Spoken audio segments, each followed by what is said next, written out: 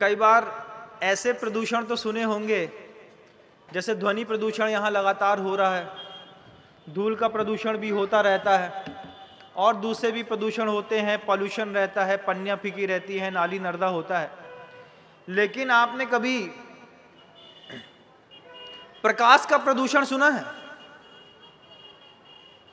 आज इस पूरी धरती की सबसे बड़ी प्रॉब्लम बन रही है प्रकाश का प्रदूषण। प्रकाश का प्रदूषण क्या है कि पिछले 20 सालों में जैसे जैसे जैसे विज्ञान के आविष्कार बढ़ते चले गए हैं वैसे वैसे वैसे धरती 24 घंटे जगमगा रही है। 24 घंटे 24 घंटे जब जग, धरती जगमगाती है तो बहुत सारा पूरा का पूरा चैनल डिस्टर्ब होता है। कैसा चैनल डिस्टर्ब होता है कि जो छोटे छोटे कीड़े रात में पैदा होते थे वे 24 घंटे जलने के कारण जो है, उन्होंने पैदा होना ही बंद कर दिया। समुद्र के जो जलीय जंतु रहते थे, जो रात्रि के समय ऊपर आते थे, उन्होंने ऊपर आना बंद कर दिया। पूरी की पूरी धरती में जब कभी भी आप देखें, देखेंगे, आपको समझ में आएगा कि दुनिया में आज की वैश्विक समस्याएँ बन रही है सबसे ज़्यादा प्रकाश का प्रदूषण। एलईडी लगा दी 500 वाट की।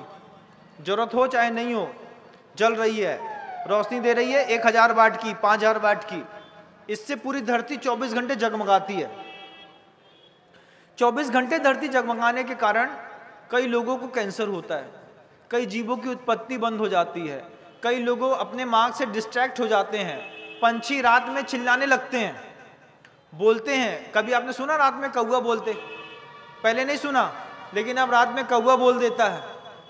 चिड़िया हैं, चीहा चीहा की आवाज़ कर लेती हैं कि प्रकाश का ऐसा अद्भुत प्रदूषण है बंधुओं कि जिससे पूरी दुनिया में सबसे ज़्यादा दिक्कत हो रही है। मैं दुनिया के लोगों से इस बात को कहना चाहता हूँ, जहाँ तक मेरी आवाज़ चली जाए, कि जब आपको आपकी विद्युत ऊर्जा का उपयोग खत्म हो जाए, कृपया करके आप उसको बंद कर दीजिए। बड़े बड़े जितने भी शहर हैं बड़े बड़े विदेशों में जितने भी पोर्ट बने रहते हैं जैसे ही उनका उपयोग खत्म होता है, सबको डिम करना शुरू कर दिया है। सब में एक वोल्टेज रेगुलेटर लग जाते हैं। आपको पता हो या नहीं पता हो, मुझे नहीं पता, जिससे आप अपने घर का पंखा रेगुलेट करते हैं, उससे आप अपने घर का बल्ब भी रेगुलेट कर सकते हैं। एक कनेक्शन जोड़ना पड़ता है। बल्ब धीरे धीरे धीरे तेज धीरे धीरे धीरे धीरे धीमा होता रहता है। भले आपके अंदर दान देने की, बिल पेमेंट करने की सामर्थ्य बहुत हो, लेकिन प्रकाश के प्रदूषण आने वाले समय में सबसे बड़ी महामारियाँ लेकर के आएँगे और उसमें आपके घर के अंदर भी डिसीज बढ़ेगी। जितना ज़्यादा आँखों का इलाज कराना पड़ेगा, ये सब प्रकाश के प्रदूषण के कारण है। आप इस बात को भी समझने का प्रयास करेंगे, दूर तक पहचानने का भी प्रयास करेंगे।